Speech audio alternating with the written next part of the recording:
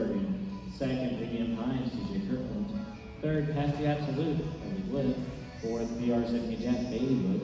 Fifth, Good Times for Me, Jocelyn Timmermeyer. Sixth, Where to Be Another, Emma Burns.